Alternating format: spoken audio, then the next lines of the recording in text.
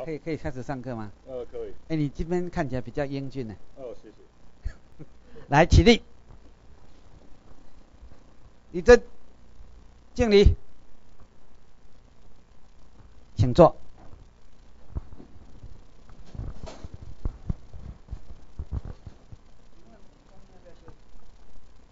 只有一个小时不是吗？两个小时。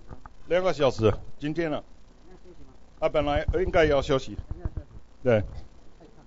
你就按那个嘣嘣嘣嘣嘣，两个小时啊，讲那么多。啊，有时候就是上面的人没有来，他就要我讲特别多。所以今天我们来谈，呃呃，我的题目都是呃美国宪法基本精神，对不对？所以这个呃我们就可以慢慢谈。啊、我觉得我们从什么地方看出来？呃，其实呃，来来来台湾很多年，就是我们常常在呃作为一个外侨哈，因为我拿美国护照嘛，那美国护照就是我们白种人、呃黑人、印印第安人这些，反正你要如果要拿台湾的证件，他要求你放弃原有国籍嘛，所以呃。这个我们当然觉得很不合理，因为基本上我拿美国护照，我在这里也并不是说我可以躲避你任何法律规章啊。所以你到底在担心我什么？为什么要求我放弃原有国籍？更何况台湾本身双重国籍的人很多。不这个就是这个政府就是表面上他欢迎外国人，实际上他是排斥很厉害。法律上他排斥很厉害，感情上讲话哦，欢迎你来，朋友自远方来，不亦乐乎？啊，接下来你就问他说，那朋友自远方来，不亦乐乎？那为什么这么这么多限制在这里？对于我的生活，对于我的我的活动，为什么有这么多限制？像台湾人去美国。就去纽约随便观光啊，去联合国抗议，台湾要进入联合国。我说，请问联合国抗议跟他观光签证的签证目的符合吗？但是如果一个外国人来台湾参加一个游行，你就说跟你申请的签证目的不合，驱逐出境，它限制很多。那他说对啊，朋友自远方来，不亦乐乎？但是既然你是远方来，你也要回去啊，啊早一点送回去啊，也不也也不妨啊，因为你违反我们的规定啊，那个规定有写吗？那个是没有写的，那个随便他讲的。所以呃，如果你注意到多年来，我们有一个。刚刚在台上一个林志生，他很喜欢，动不动就到在台协会去抗议，动不动叫日本交流协会去抗议，游行抗议，而且不只是台北，他还组织全台湾。啊，他说这一步这一次我要二十五五个游览车的人，下一次我要三十五个游览车的人，他随时在搞这个。你去那些场合，你有看到我吗？我不在。我躲到对面巷子口里面，我在看你们，因为我们基本上这里的政府不喜欢我们参加什么政治活动，所以我来久了，我当然知道。但是奇怪啊，你们可以到美国，你可以去白宫游行，谁管你啊？没有人管你啊。这这个就是这个就是很很不一样，是回到那个是不是回到那个宪法？其实。我这方面，我跟这里的水子争论很久啊。中华民国宪法来比较啊，中华民国宪法没有公民两个字，没有公民两个字，他谈到人民。所以每一次跟那个官员谈，我说我们是人民，我外籍配偶是人民，所以我有什么什么什么权利，你宪法就讲得很清楚嘛。他说 no no no no no。你不是人民，我说那你看我是牛还是狗？我是哪一种？他就微笑，但是他说你不是人民。我说你讲错了，我绝对百分之百是人民。而且像美国美国宪法，它已经在一八八多少年，就是一百二十几年前，已经缺乏非常肯定有那个大法官判决，凡是在国境内的一个外国人，以那个法律来讲是人民，他是人民，他绝对是人民。所以就看公民有什么权利，OK，这是一回事。但是人民基本上人权，他有一些权利嘛，啊，这些我们宪法所讲的，你也有。你是外国人，你也有这个权利，啊，也是会到很多基本权利呀，啊，生命、自由、财产、正当法律程序哦，生命、自由、财产、正当法律程序，美国宪法修正案第五条呢，那个都是。保障给所有的在境内的人，OK？所以为什么美国最近多少年都在炒那个古巴的那个监狱嘛？美国如果在海外作战，他就抓一些战犯，然后把他放到古巴，那他就什么人权律师律师团就会出来就说：“哦，你没有。”你没有判他有什么罪，你必须给他放出来，因为这个是符合美国宪法第五条修正案正当法律程序。啊，美国政府就回答说，他不在美国境内，所以他搞这个古巴监狱，这个很好玩。他可以放人在这里，然后他可以说没有，没有，我不需要给到任何权利。但是最近几年这个不一样哦，最近几年那个大法官有判，美国对古巴，呃，他是属于东南角嘛，他那个监狱在古巴的东南角嘛，呃，听说他每一年就是付那个租金给古巴，但是古巴把这个支票没有去兑现，你要你不要兑现那是你的事，反正他们接近一百年前有个条约。就那个地方让给美国使用，永久使用。好，这个地方最近几年，那个美国大法官他有判决，美国虽然对这个地方不拥有主权，但是他的控制权相当于有主权，所以大法官就开始。改变，他就说：“那你还是要给这些人、这些俘虏，你还是要给他一些人权。”所以这个就是说，为什么说那个宪法是活的？就是他慢慢在演变，然后大法官他会做一些解释，慢慢给他新的精神进来嘛。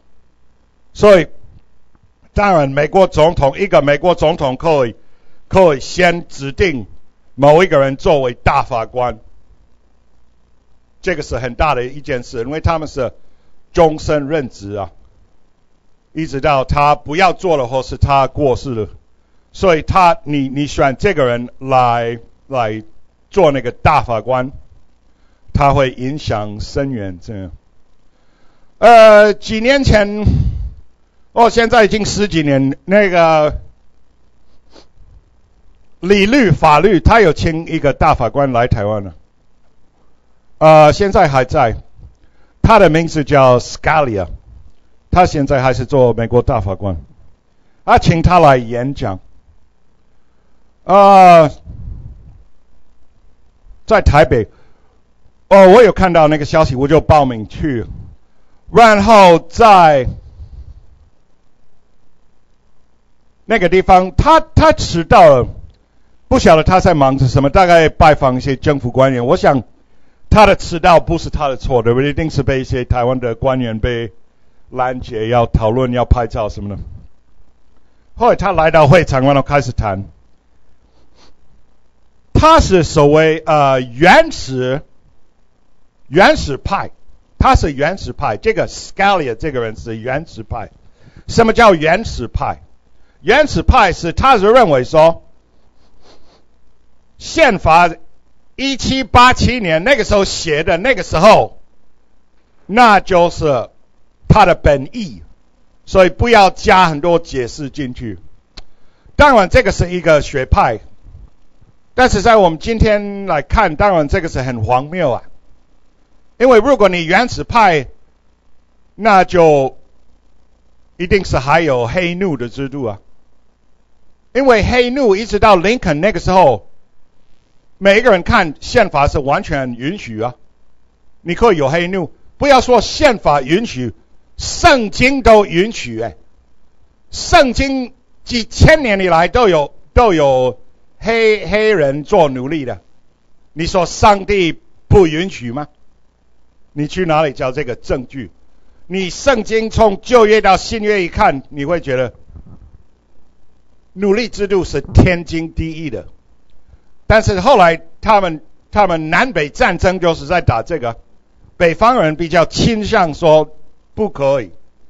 不可以有奴隶制度。当然，北方是很多工厂蓝领阶级啊，啊，南方是农场啊，他需要大量的黑奴来来搞那个农场哎。太阳这么大，农田一望无际，这个没有努力怎么做？所以南北战争后来爆发了，就是南 Carolina 州宣布退出联邦。而林肯说：“No，你不可以退出。既然成为一州，你不能退出。那这个事实跟我们台湾地位也有关系啊，跟台湾未来的走向也有关系。我们等一下会提到。OK，所以这个这一部分，这个都是所有的这些话题就绕着美国宪法来谈。”啊，那个大法官来的时候，因为他迟到，所以他中间本来有一些问答时间。啊，我本来就是要提出一些问题，在那边几百位，其实他后来留一点问答时间，没有人举手。但是后来就是那个主办单位就用那个时间来多谈一些事情，没有我没有时间问问题，要不然我就要问他一些有关美国的。列岛区，还有那个早期的那些判决。一九零一年，我们美国列岛区的判决是一九零一年，是美西战争后的那个，大概有二十几个判决，啊，都是我们今天来讨论啊，美国海外领土的这个法理基础都在那里，都在那里。所以要了解这个东西，必须看那个判决。所以后来，呃。那个他们后来有拍一点时间，就是纯粹休息，所以到那个外面那个休息室有很多贩卖机什么的，啊，那个大法官就在这里走来走去啊，好像很失落的样子，啊，没有人理他，啊，我就走过去我说，啊，Can I help you with something？对不对？能帮忙？他说，Yes，Where's the coffee？对不对？咖啡在哪里？后来我看。他的简介，他有八个孩子，难怪他那么累啊，对不对？啊，他又跟我们讲，他说：“我说，呃，我我们人在怀疑说，到底我可以跟大法官谈什么？是不是能谈什么？”他说：“只要不是他们现在在在研究或是检讨的什么 case，都可以谈了，就不能谈他们现在面对的 case。那我这个很合理啊。”所以后来，这个是我我一次跟那个大法官接触。我看过他很多，我看过他写很多判决。他法理当然他是他是很强诶，所以有时候看他的判决，看他的思维也是很敏锐。他他像是他像是雷根给他指派过去。OK，所以这些宪法的东西。我们我常常跟那个台湾人说，你没有宪法，那为什么台湾没有宪法？呃，林志生会说台湾没有宪法，因为中华民国的那个宪法严格来说不是台湾宪法，啊，必定它的领土的条款是第四条，要有国民大会什么通过，啊，他台湾从来没有通过。那有一些学者说。中华民国宪法实施的时候，台湾已经是他的管辖地。对不起，占领地不是你的地，那是不一样。那如果美国改宪法啊，我那我现在如果美国加一个宪法条文什么什么什么，那你就是说，那阿富汗包括在内，因为现在阿富汗是美国管辖地，这是很荒谬的嘛。占领是占领，占领不移转主权，你不能这样讲哎。所以我们常常跟那个学者说，其实有一次，因为我太太的妹妹在台北以前民生东路有个有个房子，还还算还算很大，就比比这个厅小一点，而且比这个厅好在它里面没有柱子，所以很好很好使用的一个空间。后来我们我们。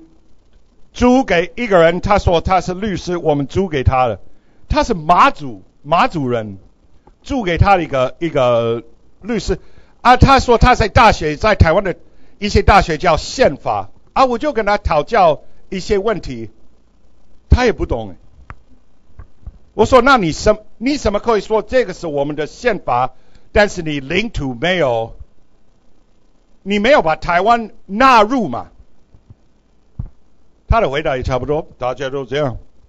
一个宪法的学者啊，你看跟我认识的那个美国学者，你看美国的那个宪大法官，你看到一些判决，他的司法逻辑很严密啊。啊啊，台湾的这个宪法学者就说，嗯，大家都这样。这这什么？这个叫做学问吗？这我觉得很，这个我觉得很纳闷。所以这些人也不晓得在讲什么。你后来什么整修条文？我说整修条文是一种弊，就是呃障眼法嘛。整修条文好，但是我要回到第四条，你台湾并入了没有？而且你并入了国际社会也有相对的承认呢，你有吗？所以为什么台湾每一次都说呃阿扁也说我要修改宪法，我要修改领土，哎我我们现在只有权利。我们只有执行我们的管辖是台澎金马。每次阿扁你先这样讲，美国马上就说 no 不可以。英文问一个问题：Who's in charge？谁在负负责这个场面的控制啊？Who's in charge？明明明明是美国 in charge。你阿扁为什么不跟美国说我不理你啊？你说说看。因为美国这个在台协会的主席有跟跟他们讲，然后林子生也有听到，你不要听我的哈，你做做看，我绝对有办法惩罚你。所以阿扁不敢，啊，至于把台澎陷入你的并入你的宪法，no，所以还是回到原点，台澎不是你的，台澎不是你的领土诶，所以要吗？你就是走民政府这一这一条啊，要么就是给你并吞过去，这个就很可惜。但是没有其他的方法的情况下，美国也没办法，是不是？所以还好这个民政府出来是给美国一条路来给台湾一些人权，要不然没有一条路，因为其他讲的那些论述全部都错掉了，对不对？你说要独立，占领地可以独立吗？你先处理占领的问题，你再谈独立。你不能直接挑独立。你说要公投，公投谁公投？你公投的法律依据在哪里？中华民国宪法。中华民国宪法作为台湾任何事情的法律依据，这样合理吗？所以这个就是我们为什么说现在我们建立所有的人，还有美美侨什么，不要投票。你宁可不要投票啊！啊，如果记者问你，就说那不是我的宪法，我不承认这个政府啊。这个政府什么时候被承认呢？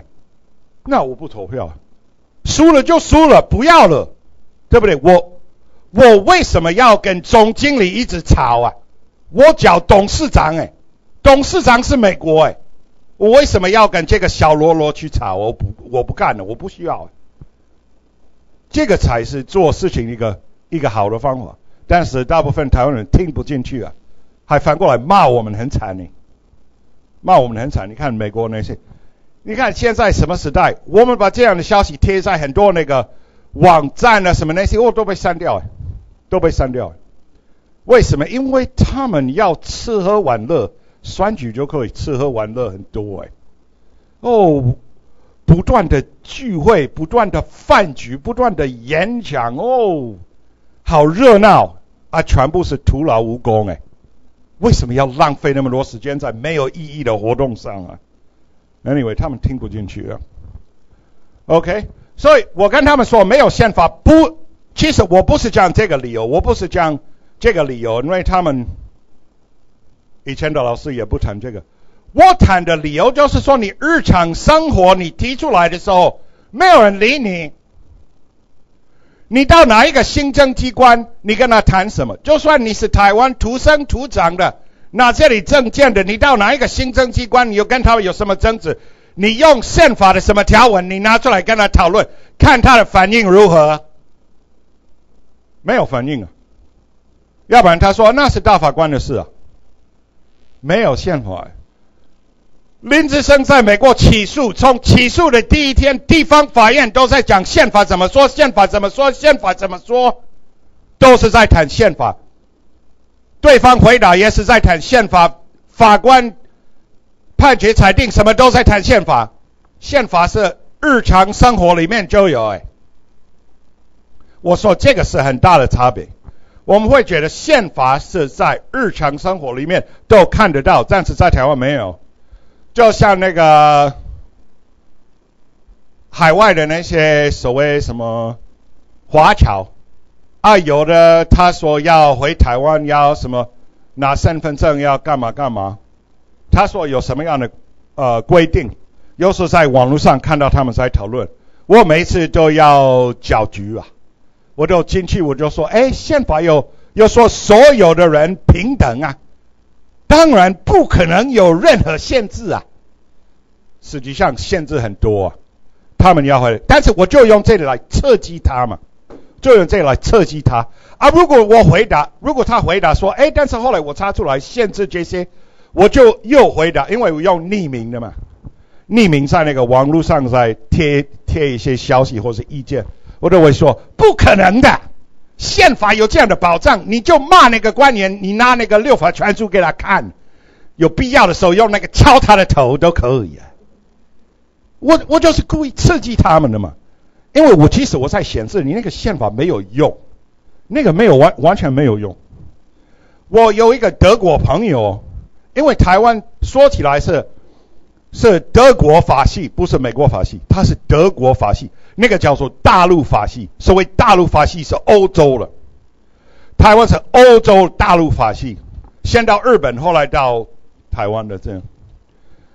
呃，我问那个德国朋友，我说那。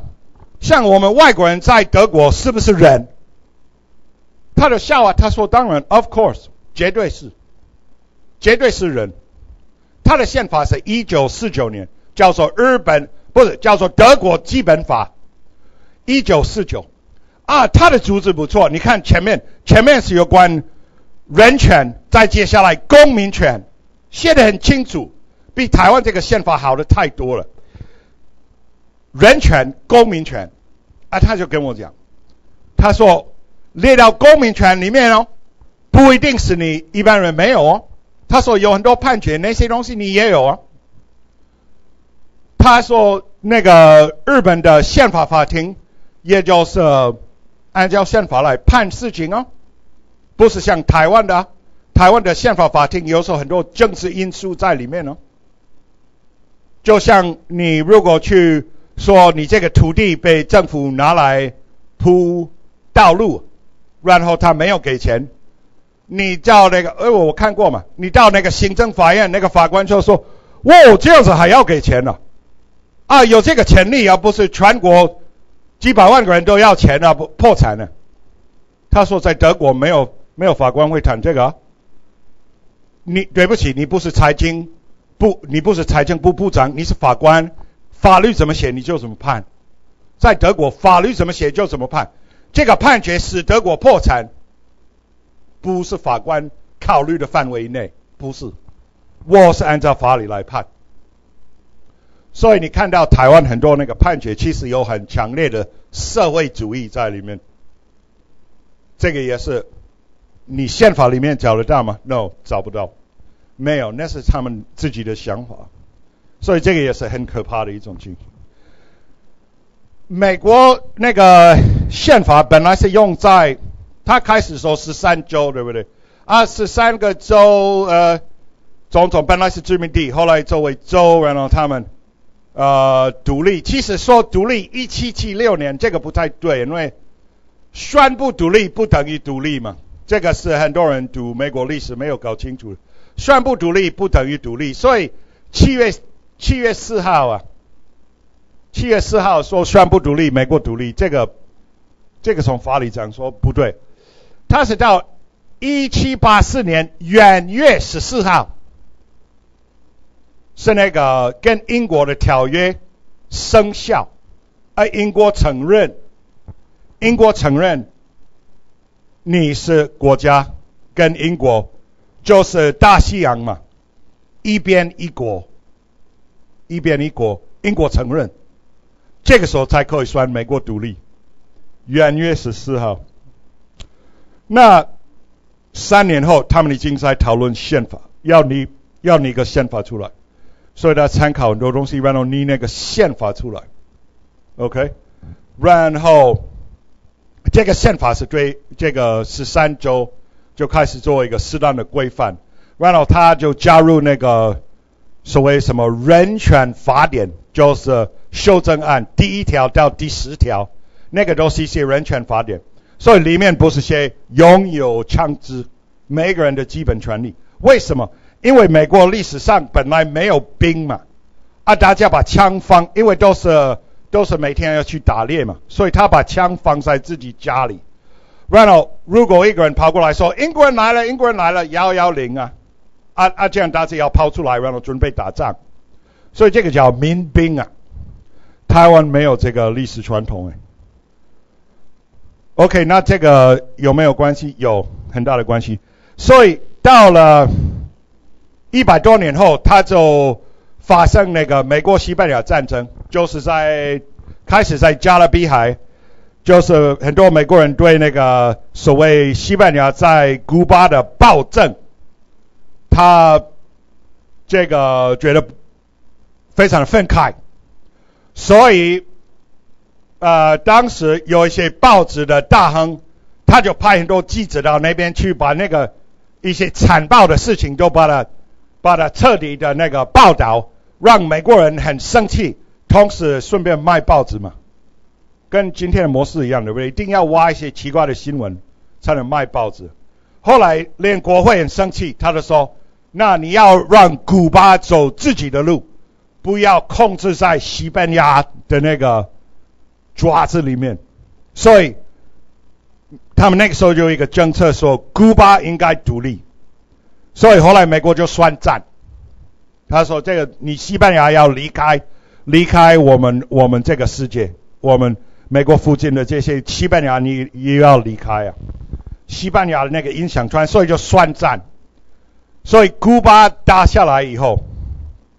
古巴打下来以后，古巴打下来以后升美国国旗，一八九八年七月十七号。为什么升美国国旗？占领旗。美国占领古巴，不是兵吞，不是兵吞。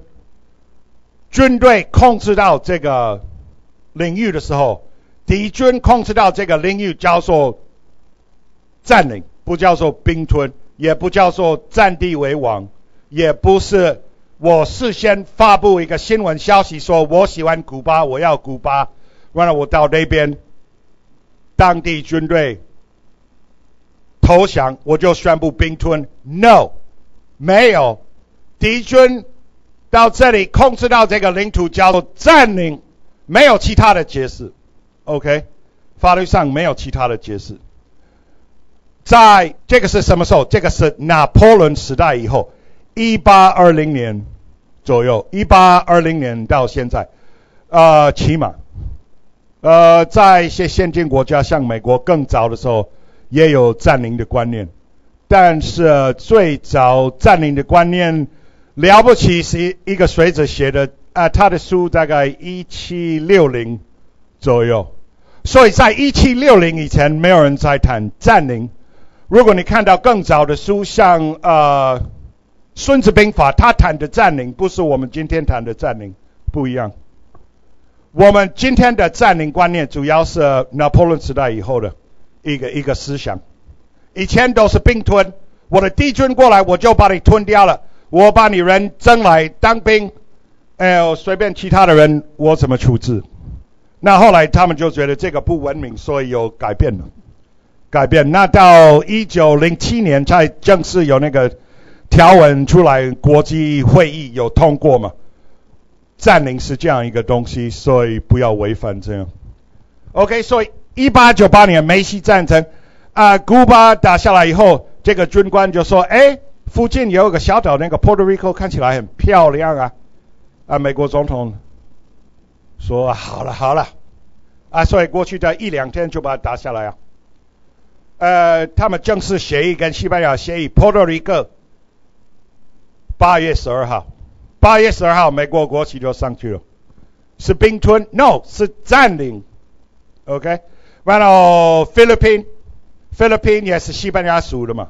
还有关岛，菲律宾大概八月十四，那个菲律宾太大了，那个要打要打一打，要用军事的力量。呃，关岛一天，美军到关岛，啊，关岛人跑出来说：“你来干什么？”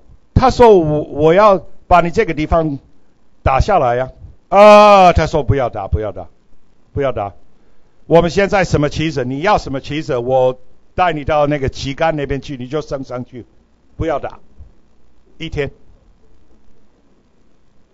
你一定要了解一点关岛人的个性，OK？因为这个跟你他，你到今天你都要了解关岛人的个性，因为有时候人家会把台湾跟关岛做比起来。呃，那必定关岛人的个性跟台湾人不一样，OK？他喜欢坐在沙滩上喝他的椰子汁，这样，跟台湾人的那个积极性不太一样。这个有关系，你要了解，OK？所以这几个地方打下来，啊，美国就变成什么？美国就变成自己本身都有殖民地。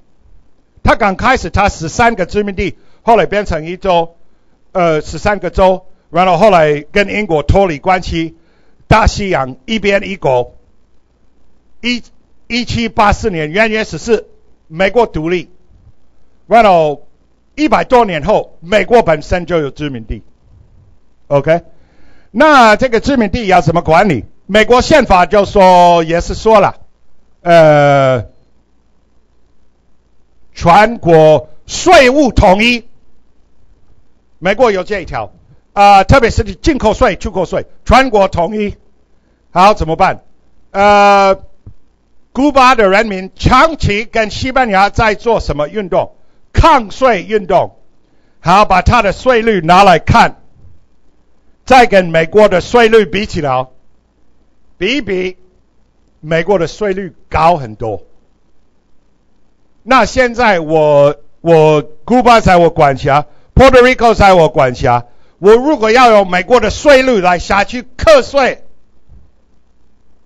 这些人会说，西班牙的暴政换美国的暴政，对不对？这个可不好哎，这个太糟糕了。所以马上就看到，这样行不通哎，这样行不通。更何况，基本上这些地方历史文化不一样哎，所以就有些进口商就是说，哎。古巴已经在我们管辖下啊，呃，Puerto Rico 在我们管辖下，那就属于我们我们国内的管辖下啊。那国内就是这一州到那一州没有出口税，也没有进口税啊。所以我货品从 Puerto Rico 和古巴运输到美国去，我不需要缴税啊。啊，这个海关说还要缴税啊，啊，说我不需要缴税啊，啊，就告，告告告，到了最高法院。按美国一九零一年，就一百一十年前就开始有这个列岛区的这个判决，啊，他就讲说，呃，这些地方视同国外，实际上非国内非国外。那后来他用的名词是未合并领土，它是未合并领土，所以宪法在那些地方不是全盘实施啊，而是有部分实施啊。因为这些人就基本上我刚讲了，不同的历史文化，你就想说你要把美国的陪审团资助到那些地方去，那些人不习惯那一套哎，因为你陪审团你要研判这个人有罪无罪。按你说那个西班牙人啊，他姓 Lopez 啊，他看到别的新 Lopez，他第一个印象是什么？无罪啊，对不对？就是家族嘛。啊，这样子陪审团不能这样子，陪审团你要看证据，而不是看，哎，你爸爸是谁？哎，你妈妈是？哎，不是跟我同学啊？是不是？法官他无罪，怎么可以这样？所以陪审团也行不通哎，所以很多那个制度都行不通哎。所以就慢慢有这个法理的分开，他们那些地方是独立关税区，所以凡是你看到独立关税区这个名字，那一定跟占领有关系啊，是不是常常听过台澎金马？独立关税区那个跟占领绝对有关系，就像今天台澎就是一个占领地，它是一个占领地，所以现在所有的这个在。在社会上活动这些学者，嗯，他们是对占领是一窍不通的，完全不懂。那我其实应该应该想用什么警力或什么把他们押解到这里来，强迫他们上课，因为要不然他天天在在那个，天天在在那边发表很多台什么台湾地位总统，但是他们基本上对占领的观念。都没有啊？怎么谈台湾的地位？这是不可能的。所以我们大概是唯一个唯一个团体，真的是从那个法理，这个所谓战争法的这个法理啊，这个从哪里来？当然你要看很多书，还要看美国的司法判决，它里面有谈到传统战争法的运用啊。你要看这些啊，他们都不看，所以当然他们不懂。阿道讲，像昨天我去一个团体叫做什么台湾什么什么国家联盟什么，啊，我拉开他的文宣，他就说台湾已经组建主权独立。我跟那个柜台的人说，这种论调是垃圾，完全不能成立。我说国际间对你有什么评语，你也必须考虑到国际间对你的评语。才谈你的论述，而国际间全部说你不独立，你自己说你独立有什么用？他就没有回答，所以没有什么主见、主权独立，没有这种论述。国际法里面两种东西可以因素，第一是那个条约，日内瓦公约、海牙公约，这些都是条约可以因素；第二个是惯例，只有这两个。你说台湾已经逐渐形成一个国家，主权独立。既然没有这个国际公约可以谈，有这样的条文，那你必须提惯例，哪些地方已经成这样子？你告诉我世界上有哪几个例子？没有例子是不是？那这个所谓道理是你自己发明的，也是一团垃圾，不能用。这么简单啊？国际法就这样，这些人不懂哎。这些人不懂，还还他的文章天天在自由时报上，天天在大媒体上。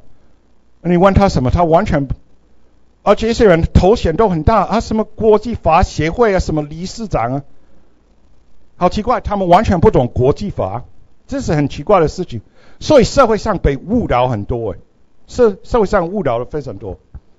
OK，所以回回到这个这个话题，就是这个梅西战争。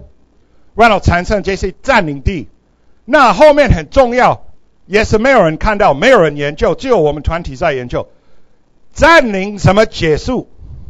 今天社会上，你看报纸也有很多人就说，哦，或许刚开始的时候，蒋介石来是占领，哦，OK，这个是占领，但是今天已经不一样，今天台湾已经脱胎换骨，那我们就举手说，我我我我我慢一点，占领结束没有？占领结束的依据在哪里？没有人回答得出。没有人回答得出，只有我们回答得出，我们非常清楚。啊，占领结束不是什么脱胎换骨或是民主选举。吕秀莲以为民主选举占领结束，那我同样也是要问，你有哪几个例子给我听啊？你讲给我听啊？你在台上，你去不去历史？是不是应该做？应该下来做跟其他？你没有资格。我是讲话很直接的。你在上面，你没有那个知识，你凭什么站在上面？对不对？OK，占领这些事是非常清楚。你回到梅西战争，你回到美国墨西哥战争，你看相关的法律文件，你看那个大法官判决，你就可以了解占领是怎么结束的。占领是在军事政府下面执行的一个形态，军事政府必须其他的法律、其他的法律安排代替才能结束。那一般来讲，你去看那些例子，美国占领加加利福尼亚嘛，后来占领后大概一年半，加州的平民政府 （civil government） 代替加州领域里面的军事政府，那占领结束。Puerto Rico 一样，Puerto Rico 是一年多以后，因为 Puerto Rico 是割让给美国，所以。美国国会通过一个法律，就是有关组织 Puerto Rico 的平民政府，组织 Puerto Rico 的 civil government，代替什么？代替 military government。这个是占领结束的依据。OK，古巴不是割让给美国，古巴的平民政府要用什么依据来组织啊？这个就是。跟台湾非常的像，你只有人民自己把它组织起来。那为什么台湾多年来没有办法组织平民政府？就是因为那个 ROC 集团卡位嘛，他一直卡位啊，他是外来的，他不是这里的，所以国际社会也不承认。国际社会承认中华民国是什么？承认他是中国的合法政府。但是他什么时候把台湾并入他的国内领土？没有啊，没有啊，啊，就算马总统说，呃，开罗三年，日本的那个条约，日本作为台北条约，一九五二年八月五号生效嘛，就算这两个是把台湾给中华民国，那你什么时候完成手续？你国内的手续把台湾并入，你也没有啊，啊，实际上那两个条文。或是那两个文件你也交不到，确实有过户给中华民国的一个依据。开罗宣言本身是一个所谓意向表达，说本身是一个 planning 嘛，本身一个计划嘛。而任何那个战争期间讲的计划，它没有什么法律的效力，它就是一个计划而而已。你必须等到和平条约生效以后，如果要这个领土要易主嘛，你必须有和平条约为依据。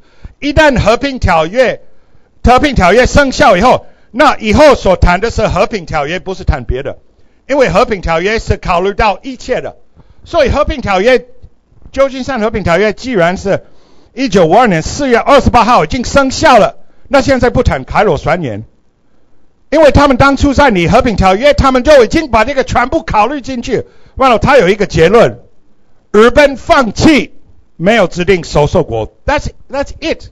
Over. 结论没有指定收受国，所以你你用任何什么花言巧语要说条约是确认给中华民国，那个都是假的，没有不可能。所以你到今天的那个官方文件，你还是看到啊，没有收受国。但是如果你回到梅西战争、墨西哥战争，你了解那个占领的过程，那你就很清楚。那这样的话，台湾还是占领地，啊，占领地是什么？最后的政治地位不确定嘛，叫做说叫做什么？undetermined。所以这个也是独立关税区占领地，地位未确定，占领地。所以台湾就是占领地嘛，就是很清楚，这是很清楚的事情。啊，我没有看到美军，为什么你要看到？台湾有暴动，美军要来，要几个小时。那我在美国在街上走来走去，我也可以说我没有看到美军。哎，干脆我们冲冲进那个联邦大楼，我们推翻政府好不好？我想美军很快就来。为为什么要说要看到？这个这个游戏很胡说八道的。为什么要看到？我跟你讲，左营的兵要开到台北，如果有必要的时候，我跟你讲，他还没有到台北，美军一定到台北。所以这个就是很很很好笑哦，我没有看到美军。但是国际上每次要做什么，都是变成美国说 yes，美国说 no，对不对？连那个《上海公报》，为什么美国跟中国就可以讨论《上海公报》，不需要跟台湾当局有任何磋商？哎，哎，这个不是很奇怪吗？就好像你一直主张那个仓库是我的，那个一直主张那仓库是我的，而且实际上我住在里面，但是等到有一天江山李四在讨论这个的时候，我完全没有问我的意见。那你你嗯，别人从旁观察，他会不会认为说你对自己的自我认知可能有问题？哎，那可能不是你的，怎么别人就可以讨论到处分你的东西啊。所以从这个地方就看得很清楚，美国在这里，他跟台湾的关系不是我们表面上所看的，就是什么好朋友而已，比那个还深很多哎，比那个还还深很多。所以我们休息几分钟，然后继续往后谈这个跟宪法的什么关系？谢谢。起立，立正，行礼，请坐，休困十分钟。